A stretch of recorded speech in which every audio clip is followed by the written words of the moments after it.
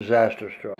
In July of 2003, an F1 tornado, with wind speeds reaching 100 miles per hour, slammed into the bridge, ripping 11 of the steel towers from their concrete bases. In the end, only nine towers were left, looming over the mangled remains of the viaduct.